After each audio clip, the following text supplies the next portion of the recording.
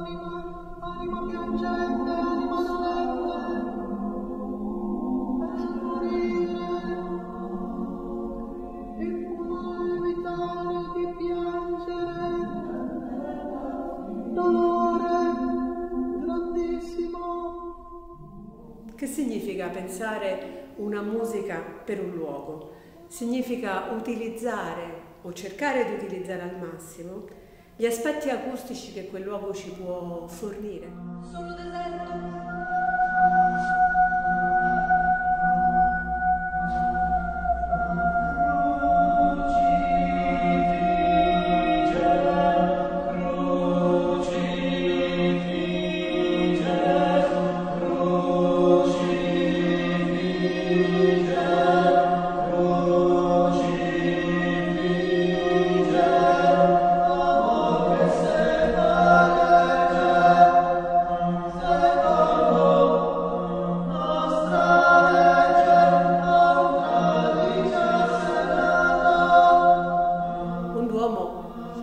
Pensato perché la voce sia udibile e udibile da lontano.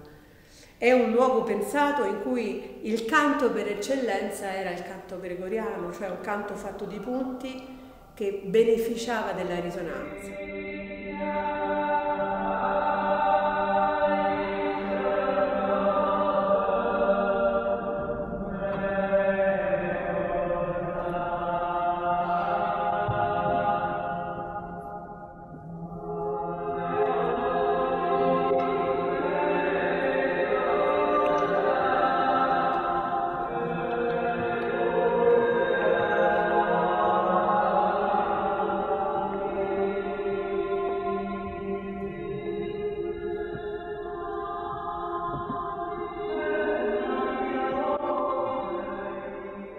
Mettere gli ascoltatori in condizione di poter visitare questo Duomo diversamente dallo stato abituale, quello in cui ti porta la liturgia, col suono che viene dal centro, dall'altare, ma di poter sperimentare come corre la voce in questo luogo.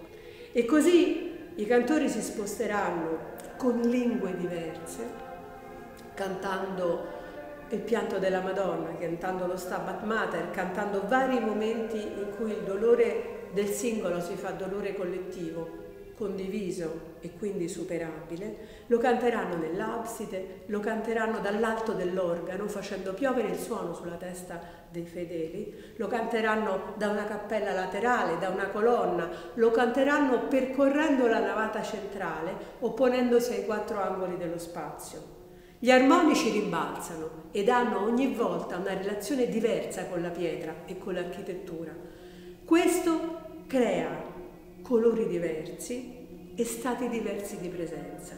Per le persone sedute al centro sarà un'esperienza in cui il suono gira intorno, non sempre nel modo in cui si aspetta.